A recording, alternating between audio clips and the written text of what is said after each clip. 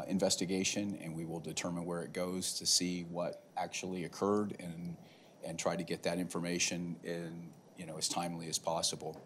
Um, We uh, also thank, obviously, JPS and, and Harris. We thank MedStar for being a part of and, and helping us uh, get our folks to the hospital as well as CareFlight. Um, It was a coordinated effort. Uh, A couple of our folks were trapped in the, in the truck. Uh, There were people who stopped, Good Samaritans. We're trying to make, we're trying to ascertain the details of where their involvement was uh, during the course of that. Um, And I don't have a whole lot more because that's still under, under review and investigation to try to figure out what happened or, you know, and how they were involved. Um, But I will tell you that um, the community, the Fort Worth community has just been amazing. Um, Everybody has rallied together. There have been offers that I, I just, I can't even begin to express my gratitude and appreciation to such a wonderful community has reached out to the fire department um, and is offering every, every, anything that we possibly could need. So with that, um, I think I'll just stop and open it up to questions and see what I can answer for you.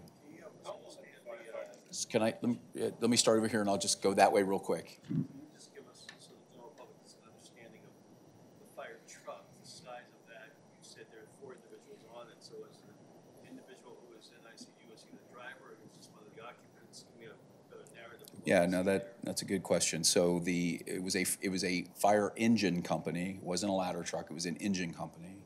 That engine's primary job is to find the fire and put water on it to put it out. That truck has hose to do that, and it also has water in a tank inside the truck um, that um, is, you know, adds weight and complexity to the vehicle. So it was a fire engine, not a ladder truck. Um, The, all four folks that were injured obviously were in that truck. One was um, the operator of the vehicle has been uh, discharged. Uh, One of the firefighters in the rear of the truck have been discharged uh, to home, and the officer of the truck and the other firefighter in the back are the ones that remain hospitalized. The officer in the truck was in the right front seat and uh, was the most significantly injured. So I don't have, uh, Craig's working on getting all that for me as far as their tenure on the fire department. I can tell you they are all seasoned folks. Um, And um, they work in that neighborhood on that fire truck because they want to be in that neighborhood. They want to be in the community where the community's need is. That's a very busy engine company. It's a very busy area of the city. They take a lot of runs. They provide a lot of assistance to the community. They see, a, a- unfortunately, they see a lot of fire in that community. They provide a lot of assistance to MedStar. And they were on their ninth or 10th run of the day, and that, that would have been their second working fire of the day.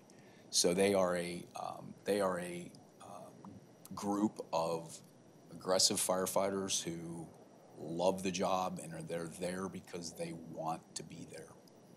For the firefighter that's critically injured, can you tell us more about the personality, is he that person as a firefighter? Well, I think Scoop, I think it, it speaks to exactly what I just said. These, these are all folks that, it's my understanding that the officer just transferred from another area of the city to get back into that community to, to provide services to that community, to be with that group of people that they, that he was working with because, you know, the fire service is a family and, and fire stations are like homes. People live there for 24 hours at a time. And, and so in order to work in busy areas of the city like that, it takes a special person with a special mindset and with a can-do attitude, a problem-solving attitude, and I think those are ways that I would describe all four people that work at, uh, worked to- overnight last night on that fire truck.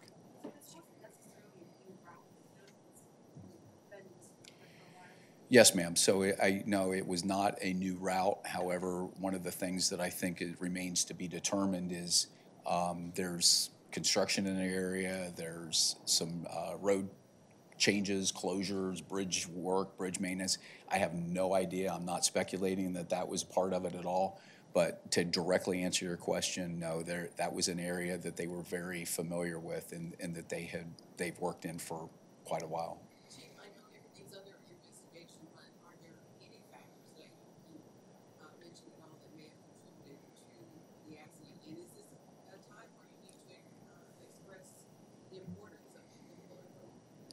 So I, so let me start off with the, the last part of your comment about people pulling over. I have no indication and no, no speculation at all that somebody pulled out in front of them or that they were trying to avoid anybody.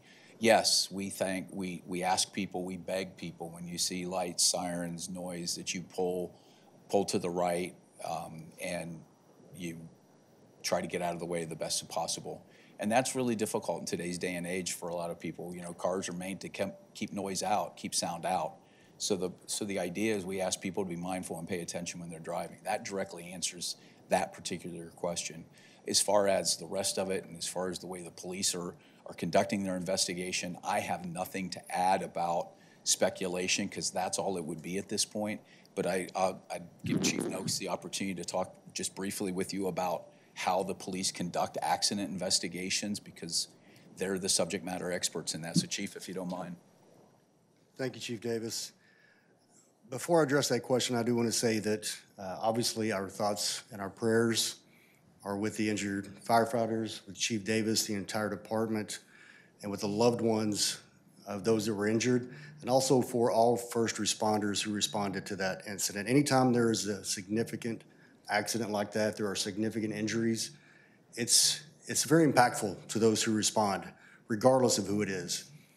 They'll all get the same level of professional service regardless of who may be involved.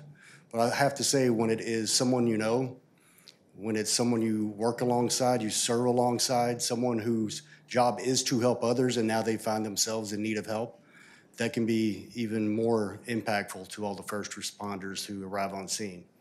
And some of those who responded were Fort Worth Police Department Traffic Investigations Unit investigators.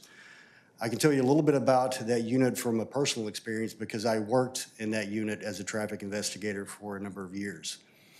Our traffic investigations unit is comprised of highly trained, highly skilled, highly professional investigators who have very specific training dealing with accident investigations. As all of you know, we are very early in this investigation.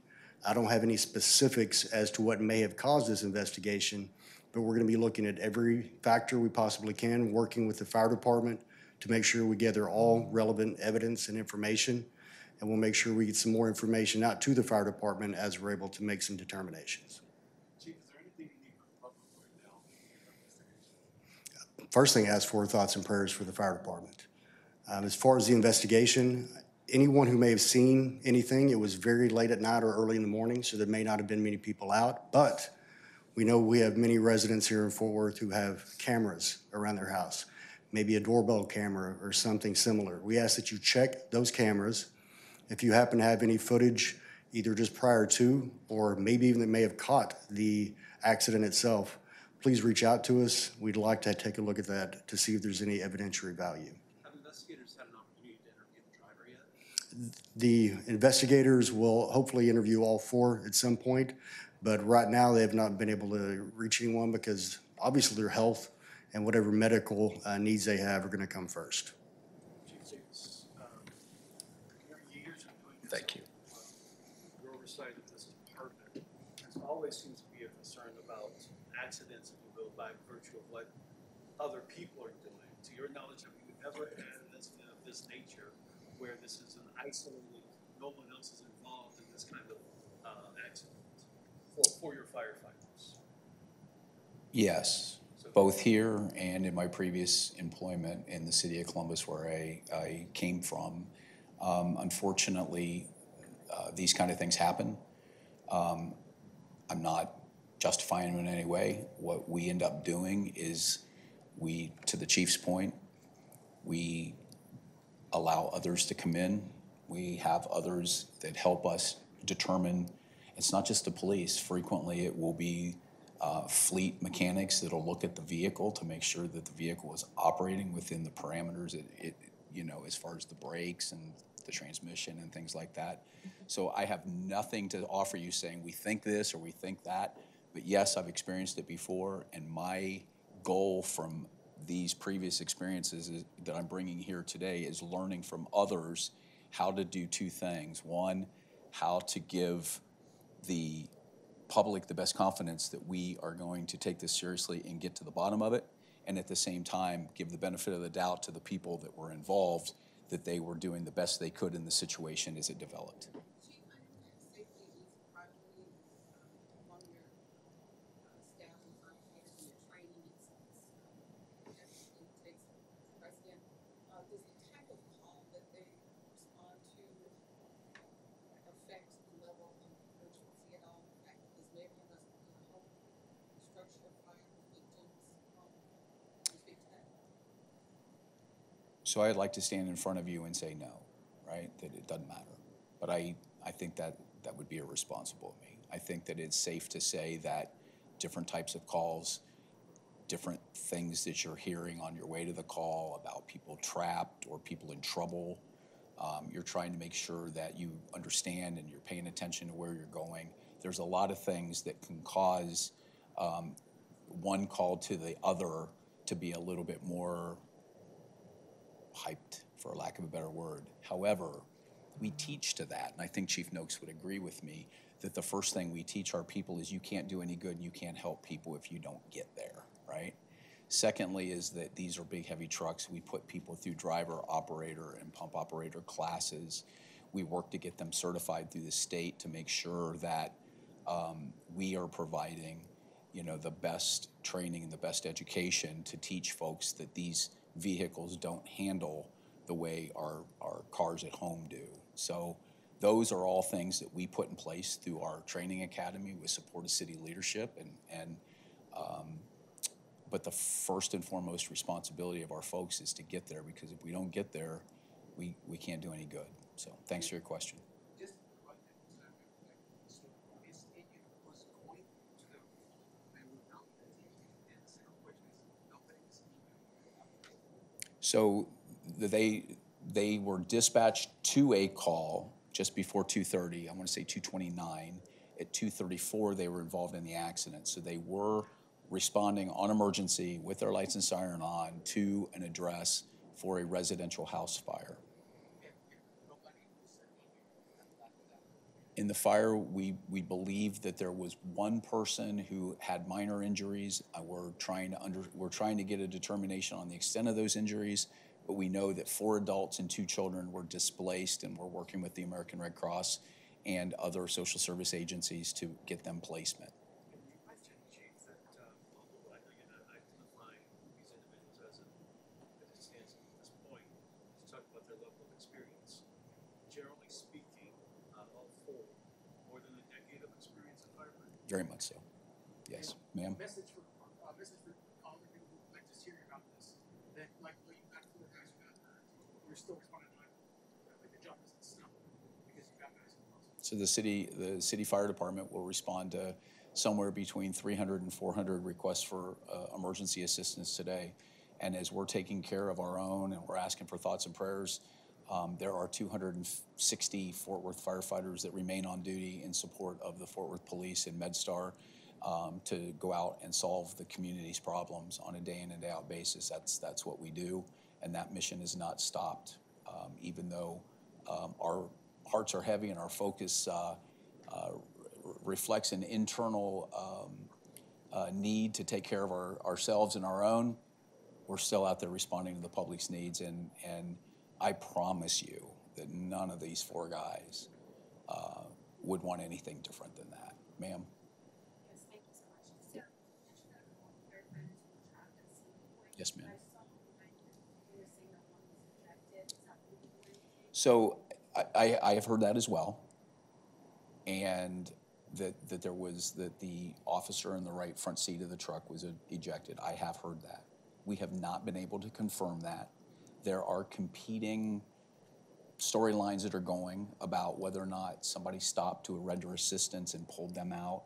So I don't have an affirmative decision on that for you.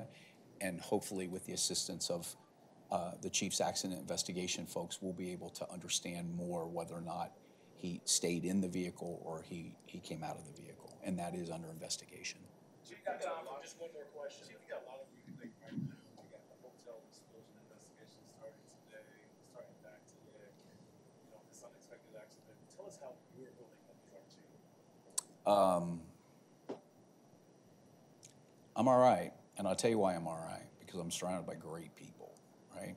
I'm standing here with a group of people, got some people in the back, people up there. I'm all right. The thing about it is, um, this community expects a lot of the fire department. The fire department expects a lot of me. The city expects a lot of me. I have people that are colleagues and friends like this guy standing on my left. I know that he's got my back, I got his back. If I need to talk, if I need anything, he's got me. So does everybody else in this room. And I can't. I, I said it to mayor and council. I want to apologize for it, and I'll say it here in front of you. Part of the success of this is having a positive labor management relationship. And for the Fort Worth firefighters local who is at the hospital right now, and the police uh, uh, Police Officers Association, who has brought food to, to my guys, and my guys giving, bringing food to the nurses and the hospital staff, the physicians, the ancillary support staff. That just says, that tells me that it's a family, it's an environment, we take care of each other, and we solve people's problems. So I appreciate you asking, but it's bigger than me, and I can only get through it with the support of everybody in this room. So I appreciate you asking. Care flight was used for one. Yes, sir, it's my understanding that, that uh, they, they did transport one person. You get some time, there's some Spanish speaking individuals to ask some questions. We'll try to run through that real quick. Thank y'all for coming out today. We appreciate the support. Thank you, everyone, appreciate it.